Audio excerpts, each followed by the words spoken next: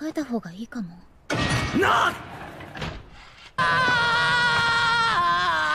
大体なんだ今の。突然現れてぶしつけに付き合えばん口悪い。なんで？同じ大学？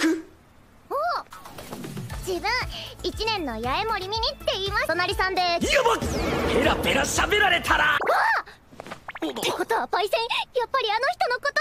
岩手が生んだ山瀬ディーバビリシタのニーサでメイっすなんかコロッと変わっちゃって。一回一回がマジっす。自分口硬いっすから。まあ悪い。